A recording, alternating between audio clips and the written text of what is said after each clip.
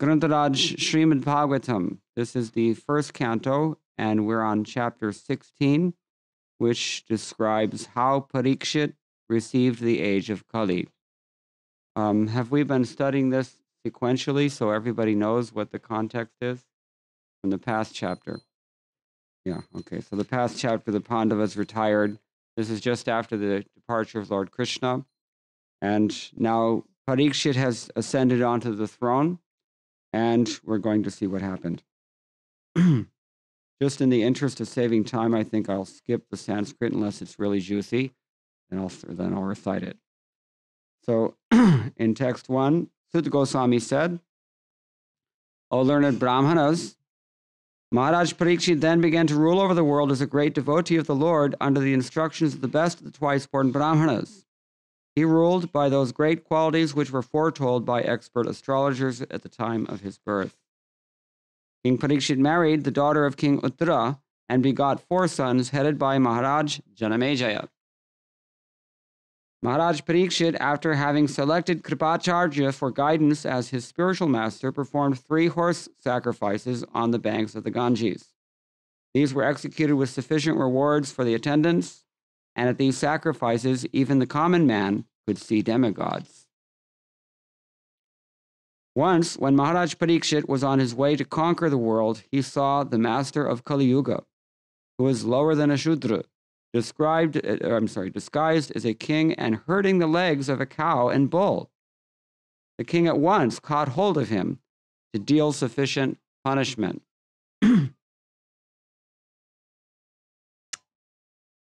Uh, there's a nice purport here by I've already warned you. Now you're going to be fined.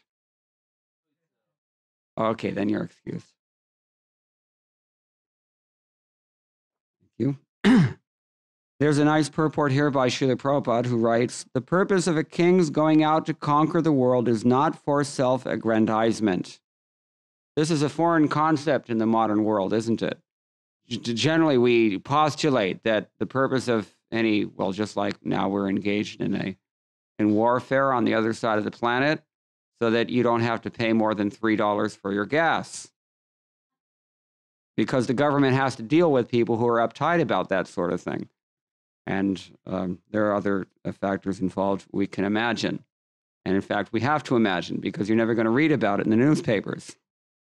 But that's another matter. So, this is the first thing that in days where Dharma was not so eroded as it is now, people actually, there were actually a class of people who were concerned first, first and foremost with religious principles. Nowadays, people have become so cynical and jaded and uh, conditioned by the degradation of this age, that if you make any appeal to virtue, the person sees you as very quaint, naive, right? And you're not taken seriously. Uh, that is the general tenor of that. That is the psychological, that is the psyche of the age, we can say. anyway, Maharaj Parikshit was the emperor of the world, and all small states were ready under his were already under his regime. His purpose in going out was to see how things were going on in terms of the godly state. The king, being the representative of the Lord, has to execute the will of the Lord duly. There is no question of self aggrandizement. Thus, as soon as Maharaj Parikshit saw that a lower class man in the dress of king was hurting the legs of a cow and bull, he at once arrested and punished him. The king cannot tolerate insults to the most important animal, the cow nor can he tolerate disrespect for the most important man, the Brahmana. Human civilization means to advance the cause of Brahminical culture, and to maintain it, cow protection is essential. Brahminical culture can advance only when man is educated to develop the quality of goodness. What do we call the quality of goodness in Sanskrit? Sattvaguna. And that probably makes more sense to this audience than the mode of goodness. So, for this, there is a prime necessity of food prepared with milk, fruits, and grains. Maharaj Parikshit was astonished to see that a black Shudra dressed like a ruler was mistreating a cow, the most important animal in human society. The age of Kali means mismanagement and quarrel. Kalaha. means Kali. And the root cause of all mismanagement and quarrel is that a worthless man is that worthless men with the modes of lower class men who have no higher ambition in life come to the helm of the state management. Or they replace the state, the relevance of the state management. This is maybe more relevant nowadays. They replace the relevance of state management with the relevance of corporate management because many sociologists would agree that corporations have virtually replaced the nation state as, a, as a, the most influential paradigm of management in the modern world. so these are some things to think about. Such men at the post uh, at the post of a king are sure to first hurt the cow and the Brahminical culture, thereby pushing all society towards hell. Because unless you have a an agrarian based society in which people are satisfied to live simply and think high, um, you cannot really have the kinds of virtue permeating society that gives rise to sinlessness. People, it's pretty much universally observed, I think. At least this has been reported for at least 100 years or more, that there is a pretty clear uh, correlation between urban cent- urbanization, urban culture, if you will, and degradation of moral values. When India first got independence long ago, 50 years ago, then there was there was this whole concern about at least in Hindi literature it's represented that there was this whole clash between those who were pushing for the agrarian ideals that uh, Mahatma Gandhi exploited in order to win the position that he got, and the urbanization that his so called uh, disciples, like Nehru and others, were pushing for just subs- after his demise. So,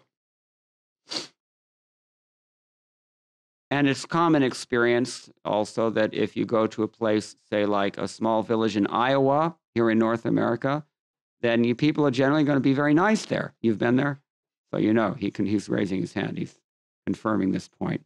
Whereas if you go to a place like South Central Los Angeles, well, you don't go there. right here in Dallas, I did. I mention this on Sunday. There was one man who was watching television um, with his family late at night.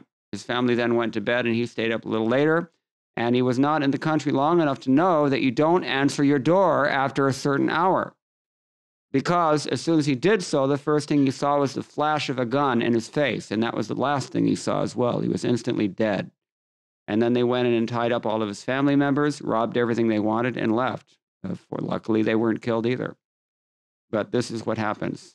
So people are people tend to be nicer where you are more in touch with nature, where you're not depending uh, as much on well, I don't know what kind of stores you have out here. You have Kroger's here. Albertsons you have at least. See, this is we're conditioned to, to assume that everything comes shrink wrapped and, and pre produced. And uh, don't ask questions about how healthy it is or whether it's genetically modified or uh, any of the other factors that go into its production. They call it frankenfood sometimes. People become monsters when they. Krishna says in Bhagavad Gita, anybody know the verse I'm thinking of? Muchante sarvakilbishe bhunjite te tu agham papam ye pachanti atma karanat. Those people who are cooking only for themselves and the people at these food processing plants, they're only thinking about their paycheck, if not worse. uh, that's what's on the mind. So the consciousness goes into what you're eating. Uh, George Bernard Shaw said, You are what you eat. That's pretty clear. Um, not only you are what you eat, actually, but the principle of Sangha, uh, mentioned in Sankhya philosophy and throughout the Vedic literatures, it's infinitely subtle. We really don't have a clear idea of just how subtle it gets. It's not only what you eat, it's what you think, it's what you hear, it's what you touch, it's what you smell, everything. You see? Therefore, the Upanishads repeatedly advise us what is that? Mm see auspicious things, hear auspicious things. Anybody know? Offhand, it's escaping me.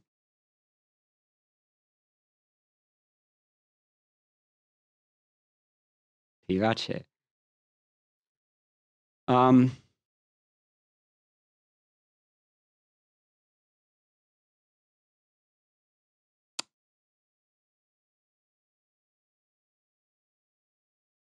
anyway, it's gone. Uh, very, very nice verse in the Sanskrit, which I can't remember right now, but this is the idea.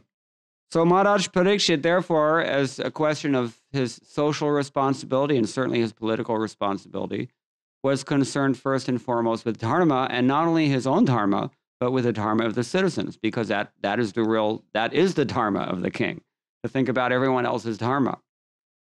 So he wasn't just uh, out there trying to get uh, keep the, the the price of gas low. He was out there trying to do some other things as well.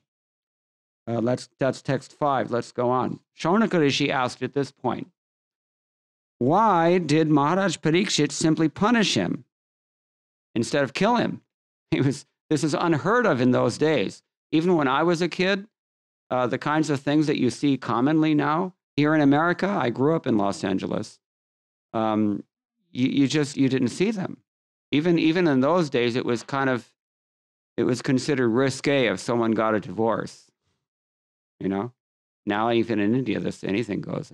India, practically speaking, is worse. even sometimes I think, but um, yeah. So this is the idea that things degrade very quickly, and hard to say whether really things come. Uh, there there are high and low tides within the general pattern of degradation. I don't really know, but it certainly looks that way. So it was so astonishing to see that this was even happening at all. Um, he, he, he, so Shaunaka Rishi inquired, why, why, was, why did he simply punish him? Why didn't he kill him on the spot? Please describe these things if they relate to Lord Krishna. Bookmark that. Because we don't we don't necessarily need to hear or see inauspicious things unless they have some benefit in terms of shreyas. Shreyas means that thing which is ultimately super excellent, preeminently valuable and worthwhile, and beneficial, elevating. Uh, its opposite number given in the Upanishads is, preya, is preyas, the thing which is immediately pleasing, or uh, the fast fast fix, whether a quick fix, we say. you know, these things. So the devotees of the Lord are accustomed to licking up the honey available from the lotus feet of the Lord. What is the use of topics which simply waste one's valuable life? In fact, Narad Muni says elsewhere in this same canto that whatever you choose to describe, if it's envisioned separate from the Lord, it simply serves to do what? No, to agitate the mind. It just agitates your mind. Now, people know this. Corporations know this. Advertisers know this. And the billboards that you're seeing every single day, that's a regular sadhana, isn't it? That's a regular ritual, isn't it? Every single day you go past this thing and see them. Um, they're, they're, they're psychologically calculated to agitate your mind to get this product. They're, in, they're intent, they're, what is it what is called ugra karma, actually, Krishna calls it in chapter 16. Unbeneficial, horrible acts, kshayayo jagato hitaha, unbeneficial acts meant to destroy the world. Well, they're not really meant to destroy the world per se, but they do destroy the world because they destroy everyone's purity, everyone's consciousness, every the elevation of everyone's thought. Just like it used to be that India was a nice place. I can say this because I live there and I always wanted to move to India. But once I moved to India, then I realized, hey, what happened? Dude, where's my country? right? Anybody know that one? Michael Moore? Anyway, so um, so it used to be that you would see something elevated there. Bhadram Karne Bhishrunayama Deva. That's the one I was thinking of. And Pashyamakshabhi uh, Yajatraha as well. You have to see things which are Bhadra, things which are auspicious. And now when you drive through Delhi, you see advertisements for, you know, hot paranthas, it's just uh, appealing to the senses only, you know. And I went to one beautiful temple, Ananta Padmanabha Swami in Trivandrum. Anyone been there? Yeah, so you know, beautiful, beautiful temple. Very wonderful temple. And it used to be that the neighborhood around the temple was all the priests were living there, and it was very sattvic, very clean, very green also. And last time I went back there, it was a little discouraging because where, where what happened to all the little cows? They used to have these diminutive cows walking around, the same kind that you, you find them in Udupi also, and you find them in Puri. Little cows, small cows, black usually. And uh, two places I noticed in India in 2004 that the cows were all gone. One of them is Kolkata, and the other one is Trivandrum. All the cows were gone. What do Kolkata and Trivandrum have in common? You guessed it. That's at least one thing. I don't know that this is there's a causal causal relationship there. I'm not going to make that that uh, postulation, but in addition to this, what I saw all around that neighborhood that used to be very peaceful, quiet, sattvic, pure, green, it had built up and commercialized, and there were billboards everywhere advertising mainly jewelry and then other things also. So I don't know what happened there, but uh, this is the idea. This is the idea. The, once the mind is, is infected with material desire, chiefly through what we call kusanga in Sanskrit, bad association, asat sangha. Uh, because after all, where do, where do your desires come from? The things that come into our mind sometimes, it shocks us, especially what you dream about. Anybody have a dream that, how could I do this in a dream? All right. I had a dream that, uh, that I killed some creature sometime, you know, in a dream. And uh, where does it come from? It's coming from that vast repository of impressions called the mind, the antahakarana, the internal organ, which means the mind, the intelligence, and the ego all together. And the mind has so many impressions. What's another word for these impressions in Sanskrit? Just like when you make an addition, it's called the samskarana. So the impression is called a samskara. Yeah, it's the it's what happens when you don't have samskrita. when you're lacking samskriti, therefore, uh, you you get bad samskaras. And the mind full of these samskars will not hesitate because that is what Krishna calls in Bhagavad Gita uh, dvandva, dvandva moha in chapter 7, text 28. He says that those who are pious, those who stick with dharma against all the odds and in all circumstances, those who maintain dharma, they can sustain a mature and, uh, well, they can sustain a commitment to pure devotional service. Other people may have difficulty if we're even concerned about devotional service at all, and many people aren't. But he says, Te dvandva moha nirmukta mam. When we are freed from the dvandva moha, the duality, illusion of duality, or the dualistic illusions that characters that, that are that are nurtured and expanded and and uh, you know uh, contaminated by bad samskars. And bad samskars come from what? Where do, our, where do all, des- all of our desires come from aside from our own samskars? There are three kinds of contamination Srimad Bhagavatam mentions.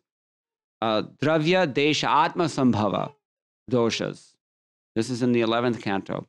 So dravya dosha means you're working with bad facilities. The environment itself is, is, is contaminated. Everybody knows that. Uh, desha sambhava, from your social environment as well, right?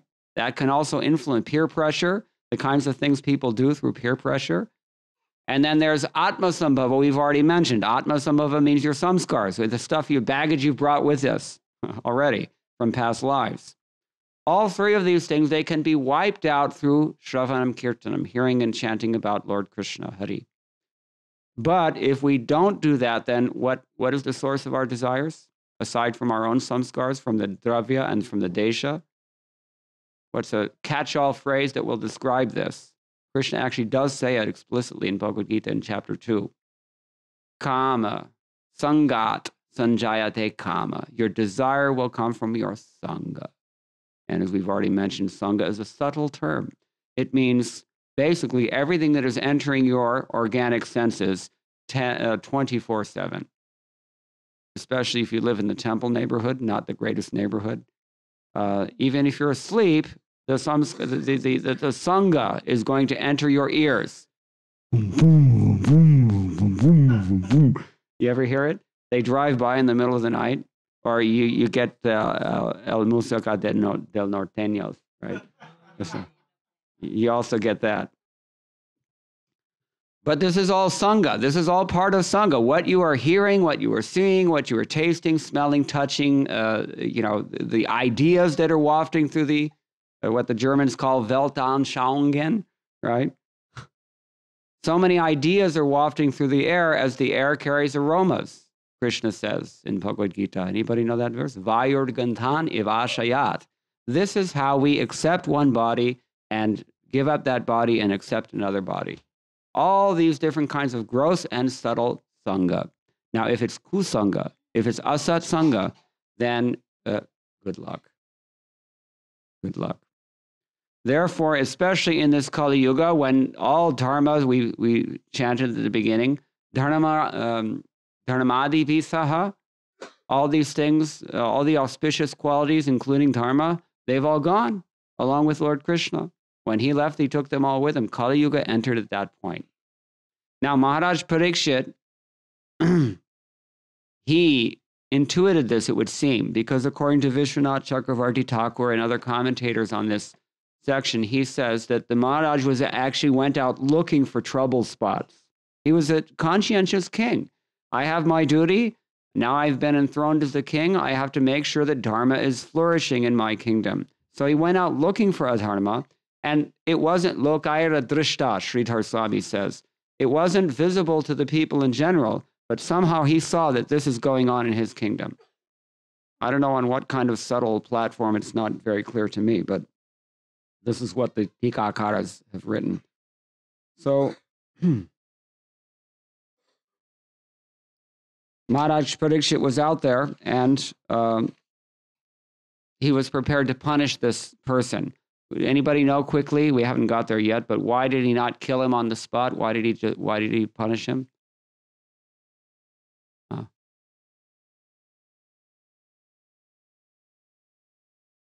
Good guess. We'll leave it at that. Let's go on. Suta Goswami, there are those amongst men who desire freedom from death and get eternal life. They escape the slaughtering process by calling the controller of death Yamaraj. As long as Yamaraj, who causes everyone's death, is present here, no one shall meet with death. The great sages have invited the controller of death, Yamaraj. They were performing a sacrifice. Remember the context? This is at Naimisharanya, and they were performing a thousand year sacrifice and discussing Bhagavatam. And Yamaraj, it said, was present there. How? How was Yamaraj present there? As Vidura, it's a good guess. I don't really know. I don't know the answer to this question. I, I tried to find the answer in the commentaries. I can't find it there either. But this is what they're saying. Yeah, yeah, it's it's quite some time later. But it may be a play on words because the last uh, two lines of the verse, Ahonriloke piyete piyeta harili lamrita vachaha. Hari Lila Amrita Vacha. The Vacha itself is deathless nectar. Hari Lila Vacha. Amrita, what does Amrita mean? It means eternal. It also means nectar. But literally, what does it mean? Not dead. Amrita. Amrita means dead, past passive participle. So, lazy humans with paltry intelligence and a short duration of life pass the night sleeping and the day performing activities that are for naught.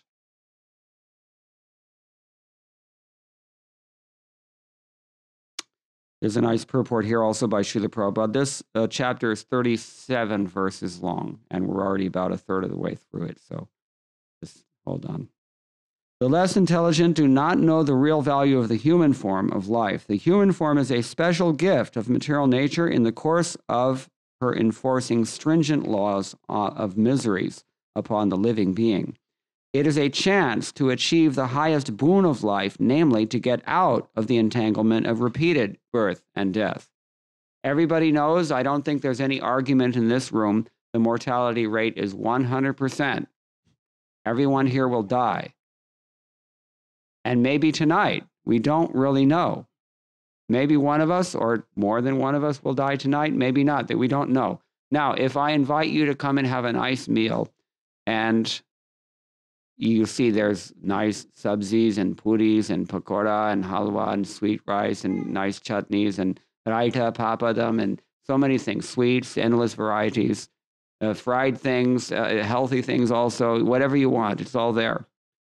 Please sit down and enjoy. And as soon as you start to eat, so that your senses are already attached and going at it, then I mentioned, by the way, there's a bomb under the table and I don't know when it's set to go off. I mean, this is not the situation that we're in. Think about it. We don't really know when death is coming. That man who went to answer his door, just he had no idea that it was he was going to die a minute later. He had no idea that it can happen. And you know, sometimes if it happens that way, it's better.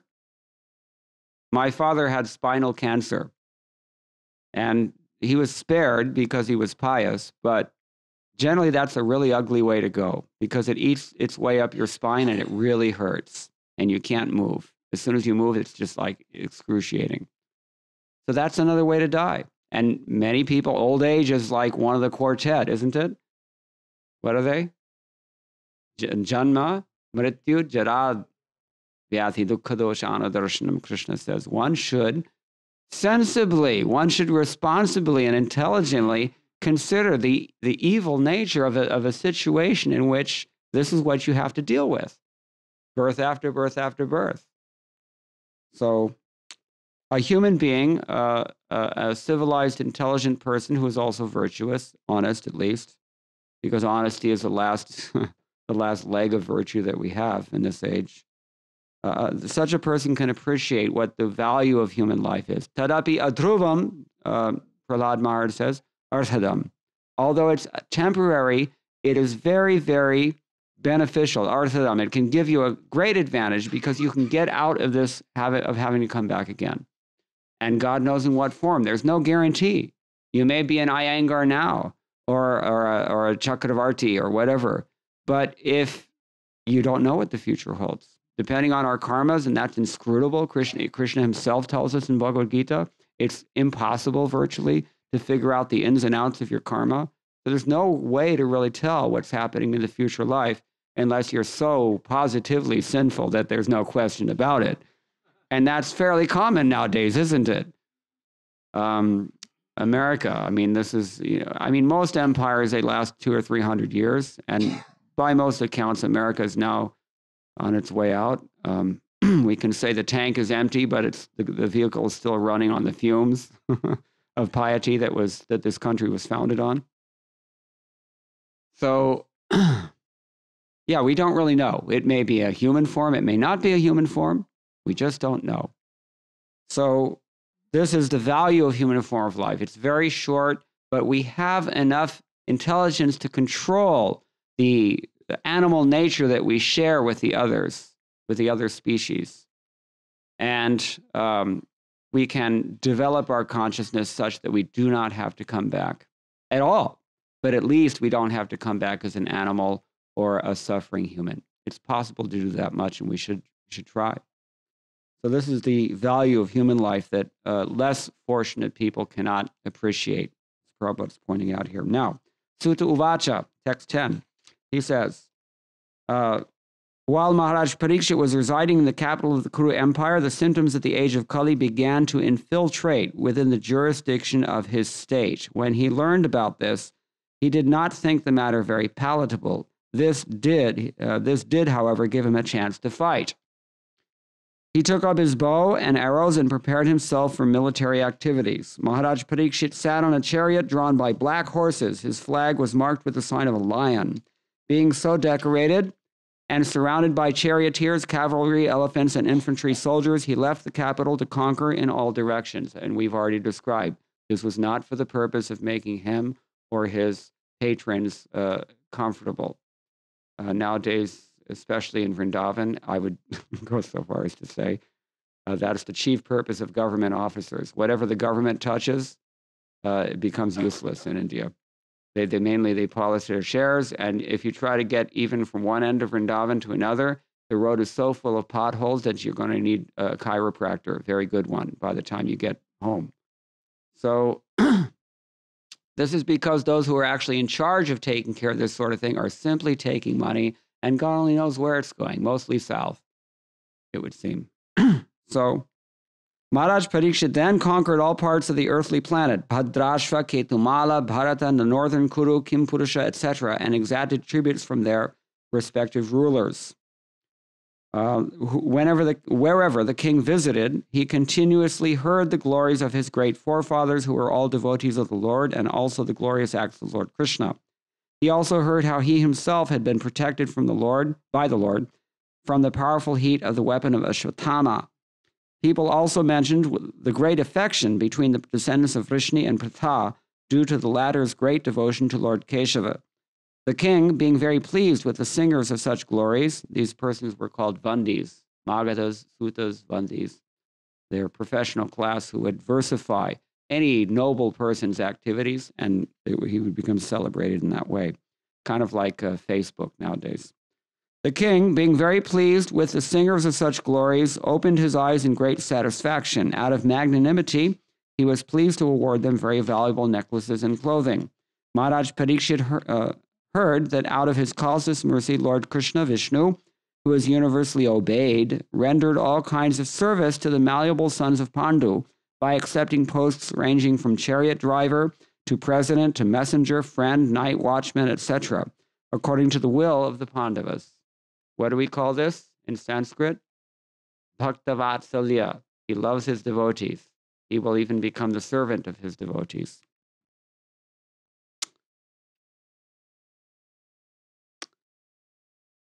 Obeying them like a servant and offering obeisances like one younger in years. When he heard this, Maharaj Parikshit became overwhelmed with devotion to the lotus feet of the Lord. Now you may hear from me what happened while Maharaj Parikshit was passing his days hearing of the good occupations of his forefathers and being absorbed in thought of them. The personality of religious principles dharma was wandering about in the form of a bull. Bull represents dharma. Mark that. And this is what Vishwanath Chakravarti Thakur and other commentators on the Bhagavatam, they say that he, this is what he intuited. It wasn't visible to others, but he, he somehow in his meditation what was the word used? Yoga netrataha or something to that effect. From the from the eyes of yoga, he was able to see this. Um, and he met the personality of Earth, that is to say, the bull met the personality of Earth in the shape of a cow, because the cow is feminine, like the Earth. Bhumi means feminine. Interesting. Another word for uh, Earth begins with DH. Anybody know what I'm thinking? Dharati. Dharati. What does Dharati mean? She bears. She upholds it. Now, where do, what does Dharma mean? That which upholds you. They both come from the same verbal root. So Dharma and Dharati. So we just have some idea of the relationship of this earth planet to Dharma. Very close. In fact, those who are conscientious Brahmins, when they wake up in the first, the first thing in the morning, you probably know this one. What do they say? Prithvi tvaya dhrita loka. Right? My dear Bhumi Devi, please forgive me for touching you with my foot.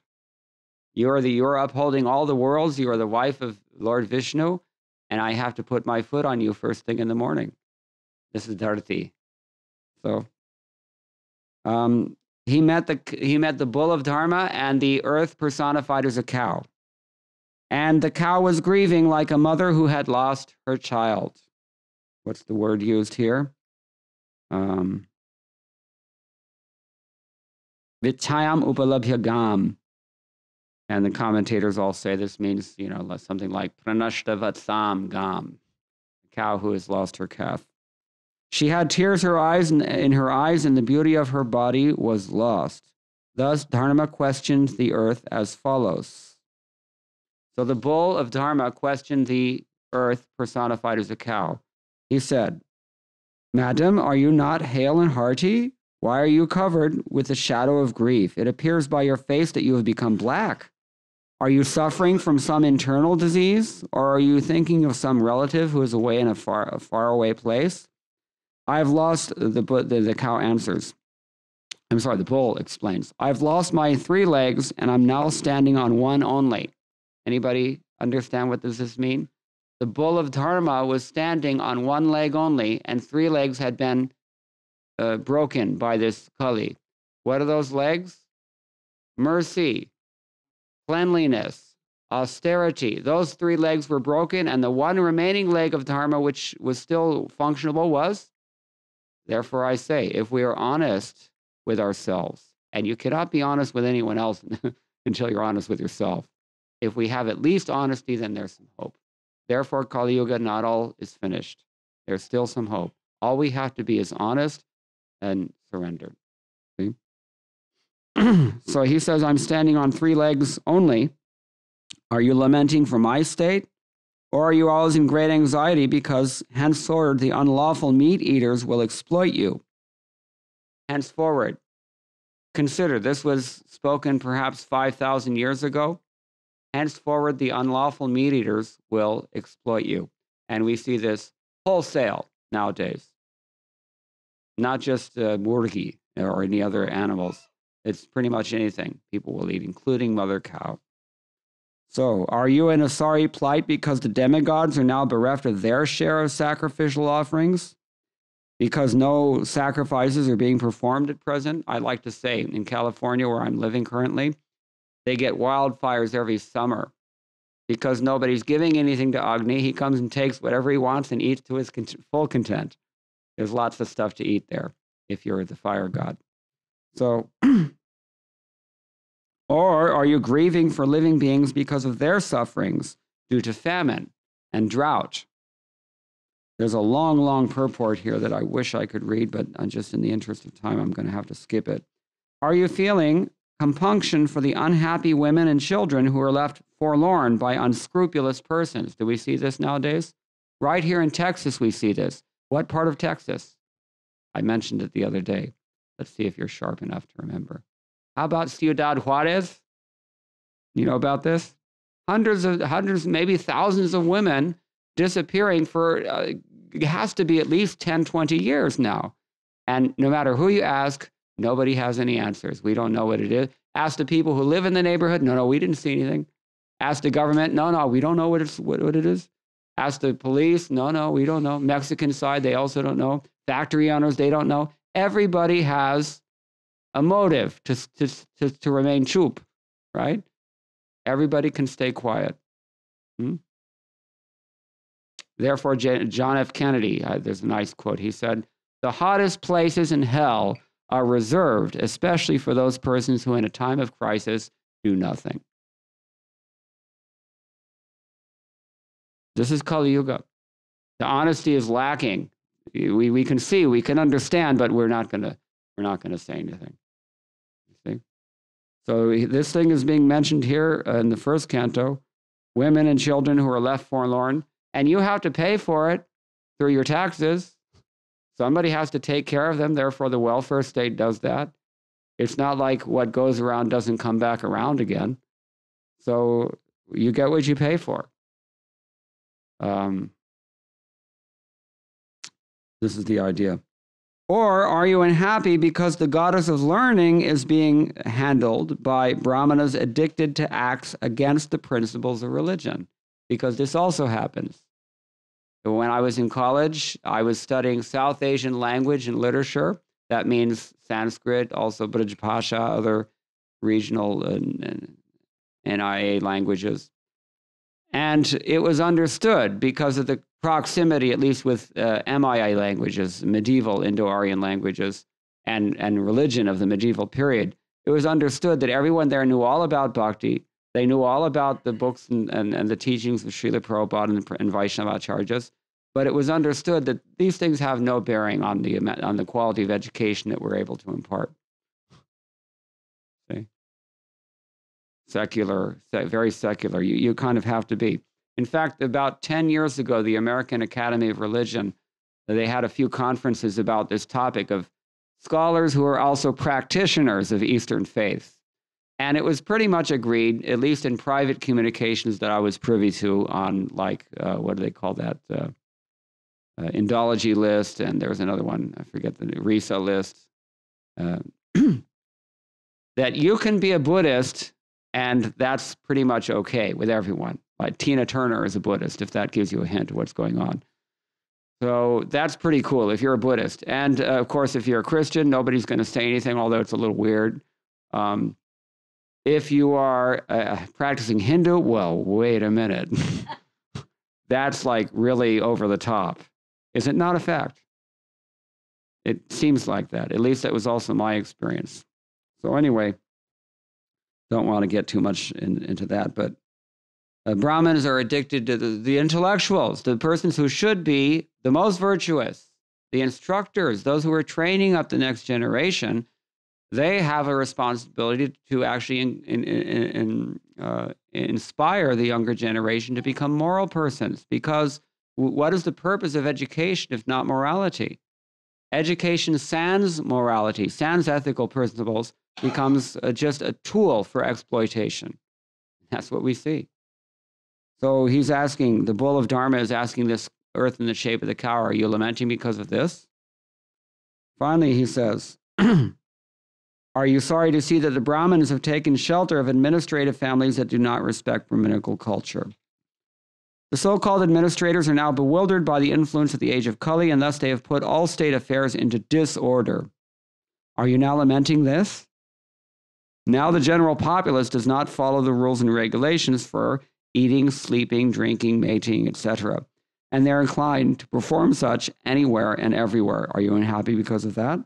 O Mother Earth, the Supreme Personality of Godhead Hari incarnated himself as Lord Sri Krishna just to unload your heavy burden. Just to unload your heavy burden, Krishna came and now he's gone, and you're crying. All his activities here are transcendental and they cement the path of liberation. Are you now, uh, you are now bereft of his presence? Are you, uh, and you're probably now thinking of those activities and feeling worry in their absence, mother. You are the reservoir of all riches. Please inform me of the root cause of your tribulations by which you have been reduced to such a weak state. I think that the powerful influence of time, which conquers the most powerful, might have forcibly taken away all your fortune, which was adored even by the demigods. Now, she's called Dharani here, means the same thing as Dharati. Dharani Uvacha. O Dharma, wherever you, whatever you have uh, inquired from me, it shall now be known to you. I shall try to reply to all those questions. Once you too were maintained by your four legs, and you increased happiness all over the universe by the mercy of the Lord. Then she goes into a wonderful list of qualities that the Lord possesses and that the Lord encourages in all who come in contact with him. In him reside truthfulness, cleanliness, uh, intolerance of another's unhappiness, the power to control anger, self satisfaction, straightforwardness, steadiness of mind, control of the sense organs, responsibility, equality, tolerance, equanimity, faithfulness, knowledge, absence of sense enjoyment, leadership, chivalry, influence, the power to make anything possible, the discharge of proper duty, complete independence, dexterity, fullness of all beauty, serenity, kindheartedness, ingenuity, gentility, magnanimity, determination, perfection in all knowledge, proper execution of duty, possession of all objects of enjoyment, uh, joyfulness, immovability, fidelity, fame, worship, pridelessness, and being as the Supreme Personality of Godhead, and eternity, and many other transcendental qualities which are eternally present and never to be separated from Him. That personality of Godhead, the reservoir of all goodness and beauty, Lord Sri Krishna, has now closed his transcendental pastimes on the face of the earth. In his absence, the age of Kali has spread its influence everywhere, and so I am sorry to see this condition of existence. So he guessed right. Again, there's a long purport that we're going to have to skip over. She continues, I'm thinking about myself and, uh, and also, O best of the demigods, about you, as well as about all the demigods, sages, denizens of Pitraloka, devotees of the Lord, and all men obedient to the system of Varna and Ashram in human society. In other words, she's thinking about all persons dharmic. Finally, she says, Lakshmi Ji, the goddess of fortune, whose glance of grace was sought by demigods like Brahma, and for whom they surrendered many a day unto the Supreme Personality of Godhead. This Lakshmi, she gave up her own abode in the forest of lotus flowers and engaged herself in the service of the lotus feet of the Lord. Actually, this is confirmed by many acharyas, including it brings divine uh, because the same word is used. Yadapanga moksha uh, kama, um, her sidelong glance. Madhvacharya also wrote a nice verse. He says, Srishti stiti pralaya sarga mahavibhuti vritti prakasha niyamavriti bandha mokshaha yasya apanga lavamatrata urjita sa shrir uh, yet kartaksha balavati ajitam namami. I offer my respectful obeisances unto that inconquerable Supreme Lord, by whose Lakshmi potency the demigods have all been empowered with so many things. What are they? The, power to create, to maintain, to destroy, to get along, vritti, um, uh, control of the universe, uh, niyama, avriti, covering. People get covered over by his Maya energy as well uh, bondage, liberation, all these things are affected by the powerful glance of Sri, who is the beloved consort of Ajita, Lord Vishnu. So she says, the earth goddess uh, Bhumi Devi in the form of a cow, she continues, I was endowed with spe- specific powers to supersede the fortune of all the three planetary systems by being decorated with the impressions of the flag, thunderbolt, elephant driving rod, and lotus flower, which are the signs of the lotus feet of the Lord. But at the end, when I felt I was so fortunate, the Lord left me. So she's feeling separation. O personality of religion, I was greatly overburdened by the undue military phalanxes arranged by atheistic kings, and I was relieved by the grace of the personality of Godhead. Similarly, you were also in a distressed condition, weakened in your standing strength, and thus he also incarnated by the, his internal energy in the family of the Yadus to relieve you. Who therefore can tolerate the pangs of separation from that supreme personality of Godhead? He could conquer the gravity and passionate wrath of his sweethearts, sweethearts like Satyabhama by his sweet smile of love, pleasing, pleasing glance, and hearty appeals. When he traversed my earth's surface, I would be immersed in the dust of his lotus feet, and would thus and would be sumptuously covered with grass, which appeared like hairs standing upon me out of ecstasy due to his presence. You get the, the, the poetic metaphor here? All the grass is growing just like hair standing on end because the Lord's soft lotus feet are touching the bhumi, bhumi's surface, bhutale. Uh, finally, the last verse. Actually, in this edition, there's 36 verses. Uh, while the earth and the personality of religion were thus engaged in conversation, the saintly King Parikshit reached the shore of the Saraswati River, which flowed toward the east. Toward the east. Anybody know of a Saraswati River? Where's Saraswati River? Yeah. Is it? Yeah, that's right. They, there's no, there's no, we don't see it generally. There's no in that area. There are many Saraswati rivers. In, in Mayapur, there's a Saraswati as well. Um, but this Saraswati, Sridhar Swami is uh, confirmed that it's actually a river that's flowing in Kurukshetra and it flows eastward. So um, that same, there are many different Saraswatis, but that's the one that's being referred to here. It's not clear from the text, but I should say that. Now, I think it was Vishwanath Chakravarti Thakur commenting on text 35. He says that Bhumi Devi was feeling that although the Lord's consorts, they would have the Lord's association generally only in the evening because during the day he was busy with Dwarka affairs or maybe he was out of town even. So they sometimes did not get his association. But Bhumi Devi, because she's the earth, Dharati, the Lord's lotus feet were in constant contact with her, except maybe when he was asleep at night. But uh, this is this is the idea. So now she's really feeling separation, and she's um, she's lamenting like this. Things are so horrible now that Krishna has left. Kali Yuga has entered in full swing, and I'm missing Krishna. This is what Bhumi Devi is saying in the form of this cow to the bull of Dharma. Now, the Acharyas have not really said a whole lot about the verses in this chapter, but Srila Prabhupada has written some absolutely stunning purports to these verses, probably um, precipitated by the unprecedented decadence that we see in this age. The, the, you have to consider most of these commentaries were written four or five hundred years ago. Things are a lot worse now than they were four or five hundred years ago. In case uh, you haven't guessed that, as I mentioned earlier, things are a lot worse now than they were four or five decades ago when I grew up. So you can imagine about centuries ago.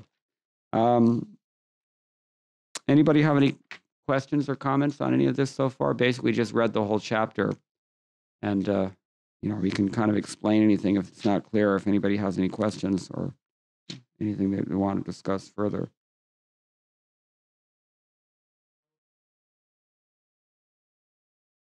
Yeah, these women are disappearing at an alarming rate, and no one is alarmed. so it, it would seem that uh, they're being wasted. Uh, they actually they do find them regularly buried out in the desert, but nobody really has any answers as to why they're being killed, whether it's the drug trade or whether. Does anybody know uh, what the global economy is now for human trafficking? It's in the billions. It's huge. It's like, you know, it's not, it's all under the table, of course, but this is like the second strongest economy in the world, based largely on pornography and prostitution and other kinds of ugly uh, pungent activities, ugra karma, basically. But women are not only being kidnapped from places like Nepal or Croatia or um, other uh, places where you might suspect, they're being kidnapped in neighborhoods like this one. And they're get, being held in uh, quote unquote safe houses in neighborhoods like this one here in North America in the United States. And they're being held as slaves, sexual slaves or, or whatever. It's not just Thailand. It's everywhere. So, including Ciudad Juarez, because the women come from all over South America, naive young women especially, looking for a job. And if you can work for a NAFTA corporation, that's a very appealing thing. You it's a foot in the door on your way to America, kind of like the call centers in India, isn't it? They've had riots about those as well for very similar reasons they're basically sweatshops and it's basically slave labor and uh, all these unsavory things happen to these poor women who are unprotected. So the bull the, the bull of religion is asking the cow of the earth and she's saying yeah this is going on. Even 5000 years ago this sort of thing was possible although not so prominent as it is today. Does that answer your question? You can look you google it if you need more information but uh, don't spend too much time. Is that okay? And you had a question? Maharaj did not kill him. There's there's maybe an exoteric reason and there's also an esoteric reason. The exoteric reason is that this Kali in the form of the Shudra later surrendered to the king. He bowed down. And because he bowed down to the king, the king there he, therefore, he's one of the prajas of the king. He had to be protected by the king. The internal reason is that this whole pastime had to play itself out so that the Srimad Bhagavatam could be spoken as we're hearing it tonight. That's my answer. There may be others, but I'm not aware. Okay? Anything else? What is the time?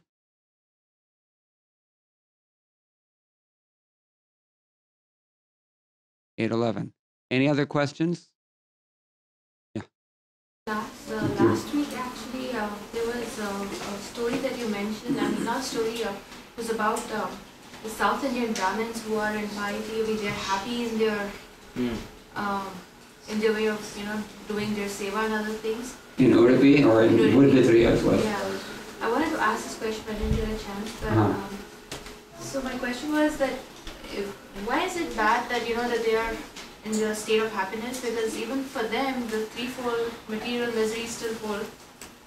So you said that's a dangerous situation. We don't realize the urgency of calling Yeah. out names. So how does that really become a bad situation? Well, let's look in chapter 14 of Bhagavad Gita. Chapter 14 is entitled uh, Gunatraya Vibhaga.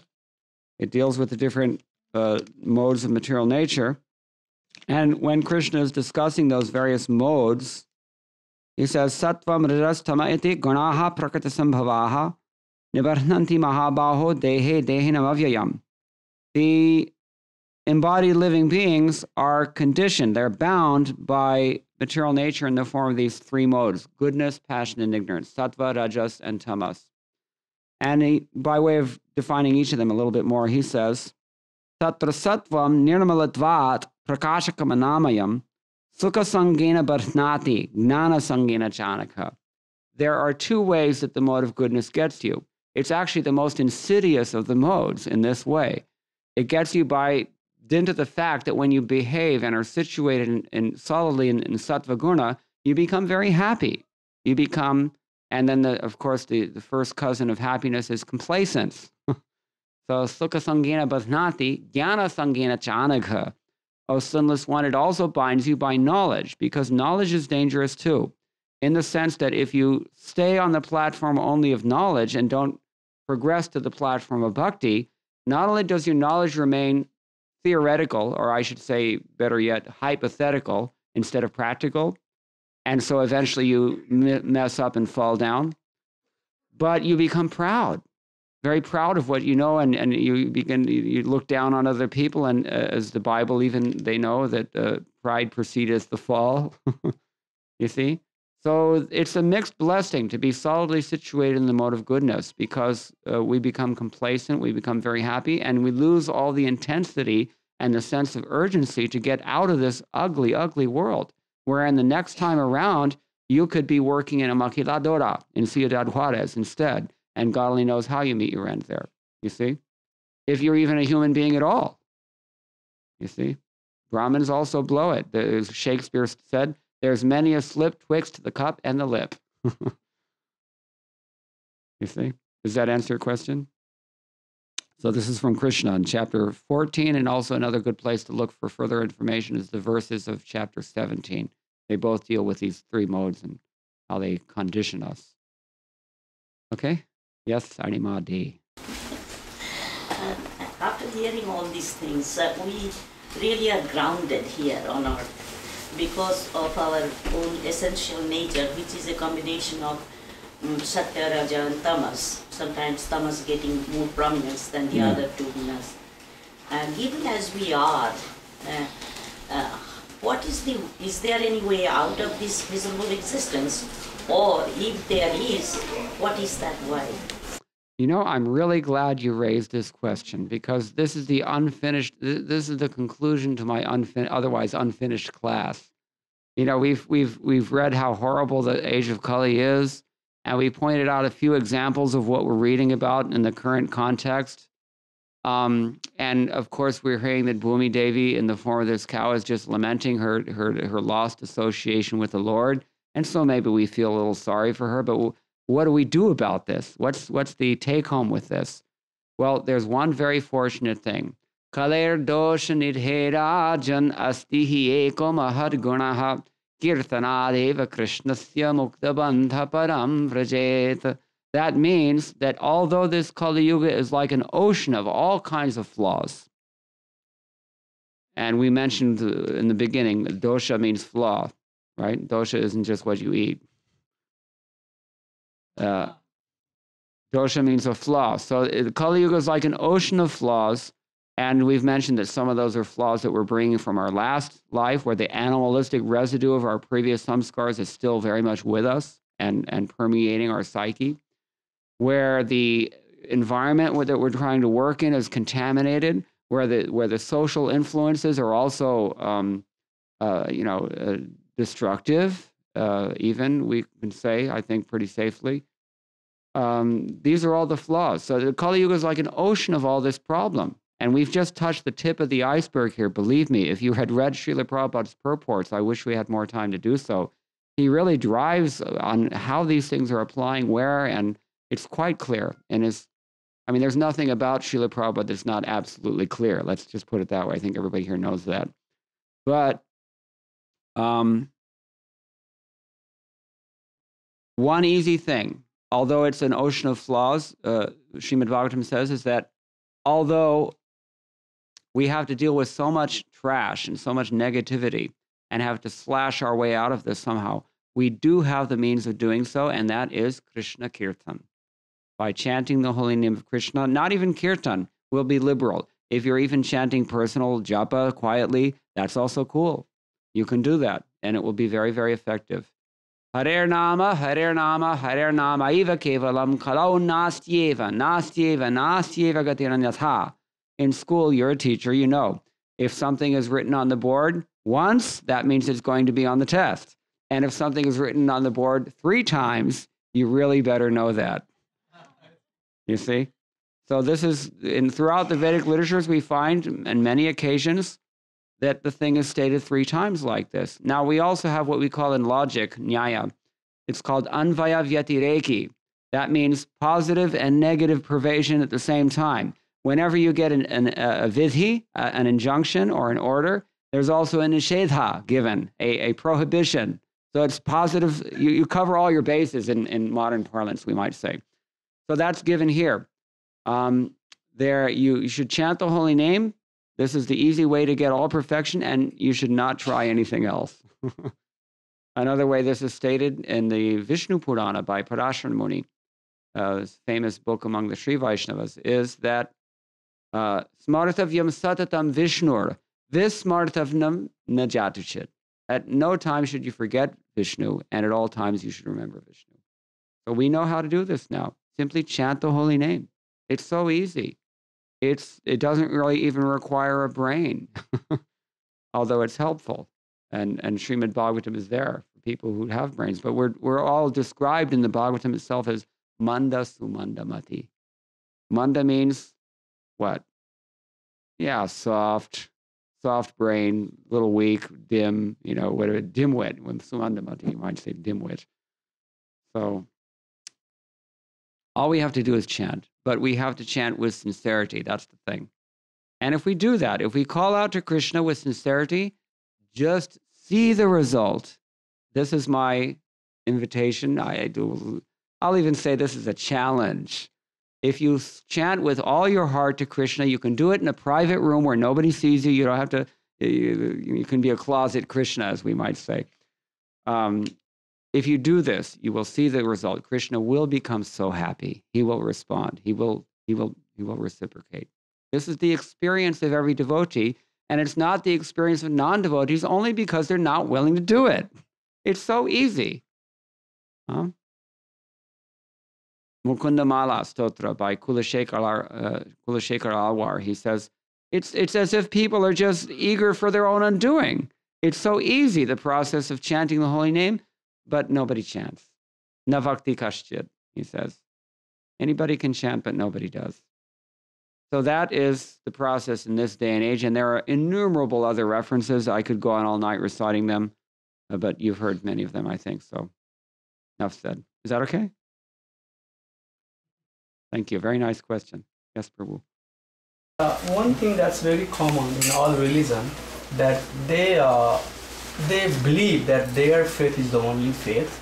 And even in Bhagavad Gita, Krishna is saying that, uh, you know, Sarvadharman Pariteja Mamakam Sarnam. You know, Christ also, I think he told like that. And the Islam believer, they also think like that. No question. So why this statement has been repeated everywhere? That, you know, why Christ told that I am the only way? Why Krishna is saying that I am only way? If if that's the statement, you know, either given by God Himself Yeah. or given by the prophet who are the messenger of God, why, you know, this uh, that statement was kind of repeated and you know told, you know, again and again in different uh, circumstances, completely contradictory situation, going from one to another, but that statement was there. Yeah. That, so, I mean, what is the message? What goes? Uh, every religion says theirs is the only way, and we can see that practically every religion contradicts every other religion. So, what's the story? What are we supposed to do about this? Very good question. It's a perennial question. It's been answered by Bhaktisiddhanta Saraswati. If you've read his new biography called Bhakti Siddhanta Vaibhava, written by Bhakti Vikas Maharaj. It's an excellent book. I highly recommend it. It was uh, addressed by Srila Prabhupada. I've also answered it in many ways. Um, uh, tonight, what I can say is that, well, somebody asked Bhakti Siddhanta Saraswati Thakur, is Gaudiya Math the only way? so, you know, people often ask us also, as you feel, do you think that Hare Krishna ISKCON is the only way?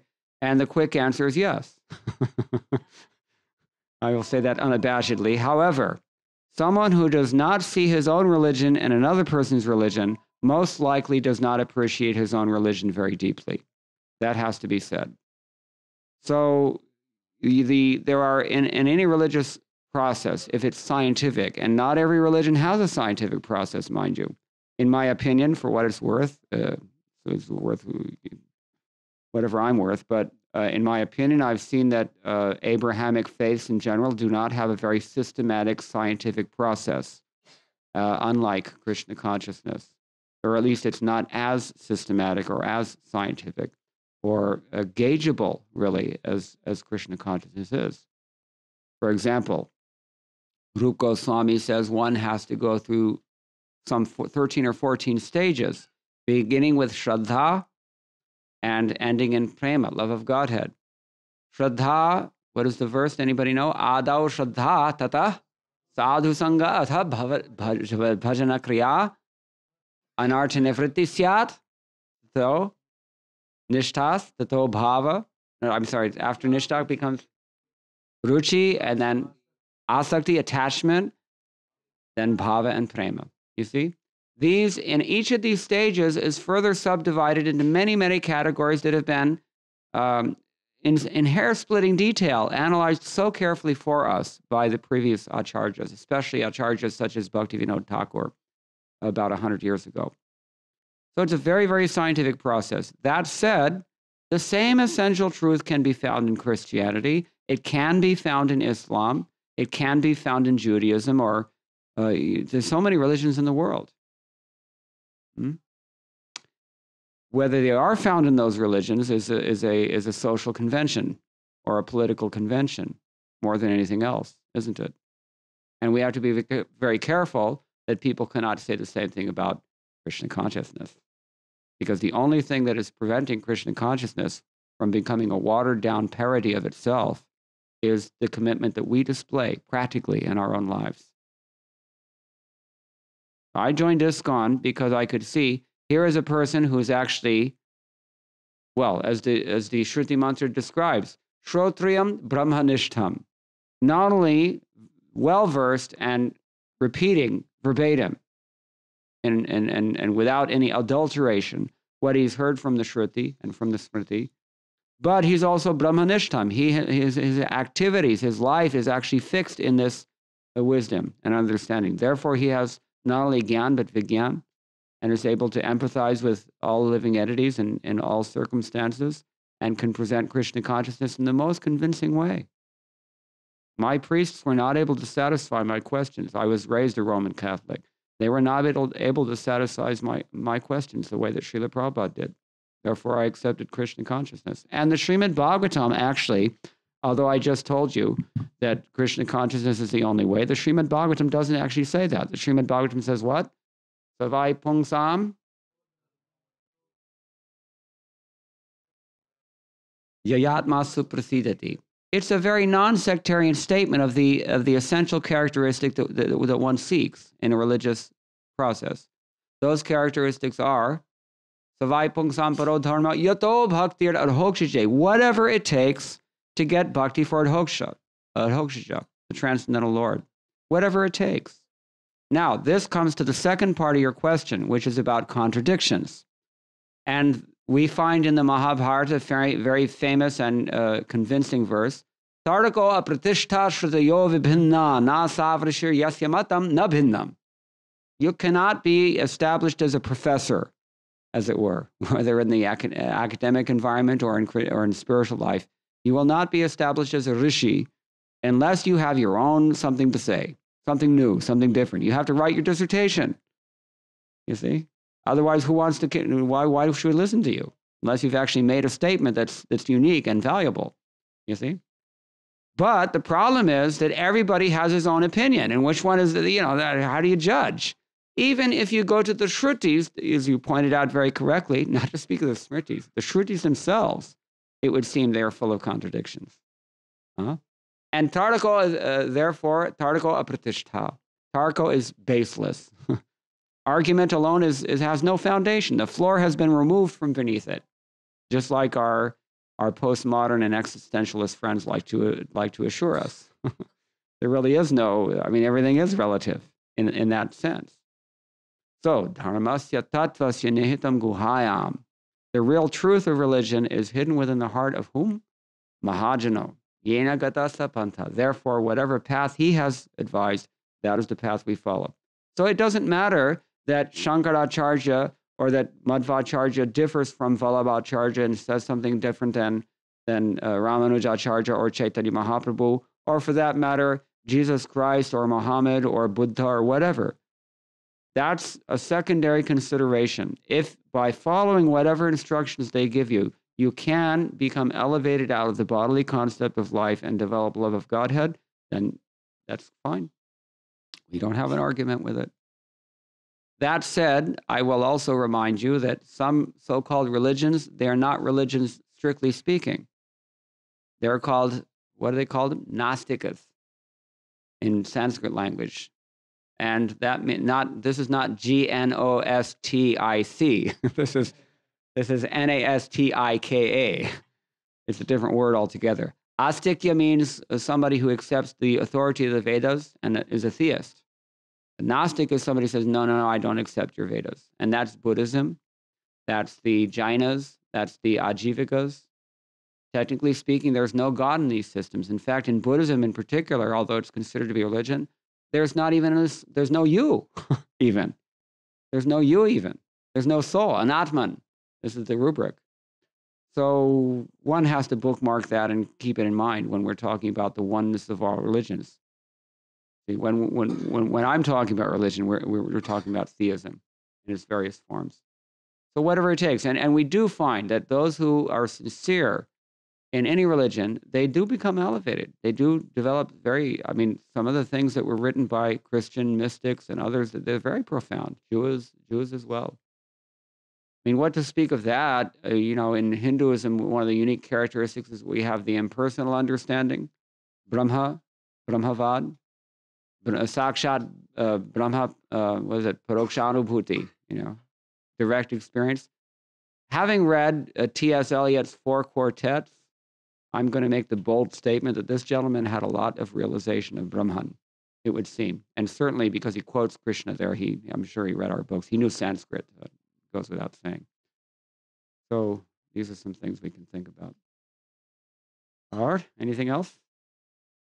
Please.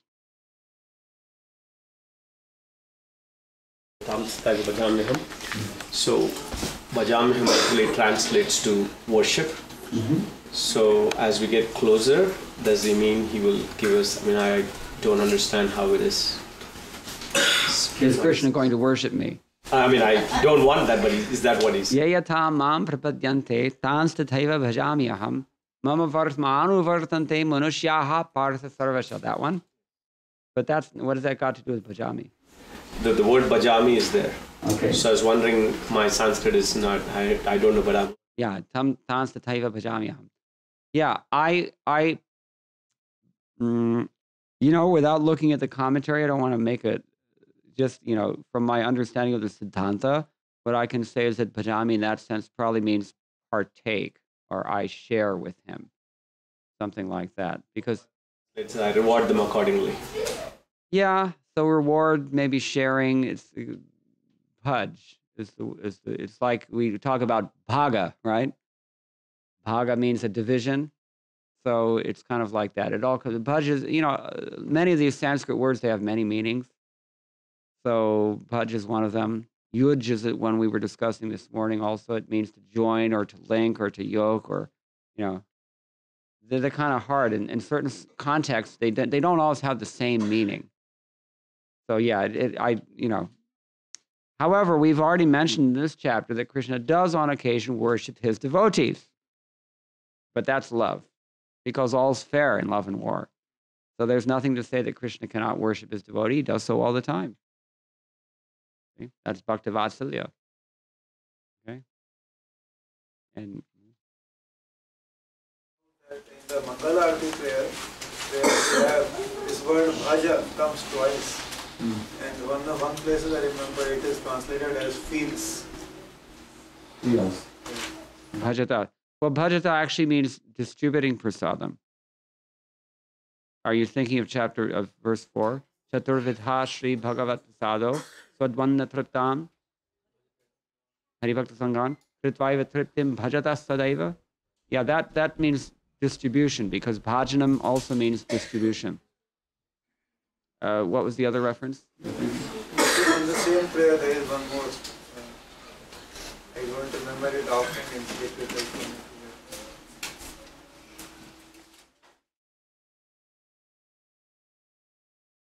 I don't think so. Anybody can think of this? Another place in Gurvashtakam?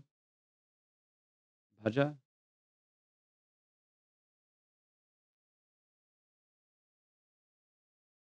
No?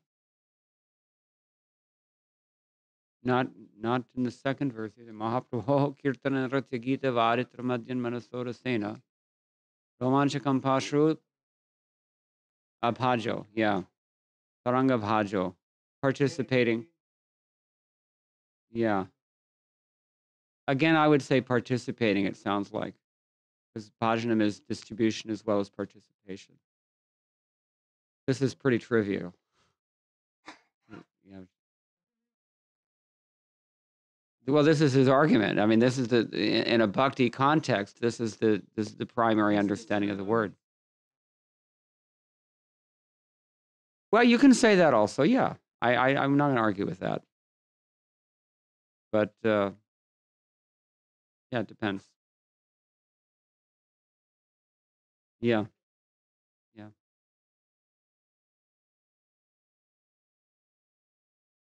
Distributing prasadam.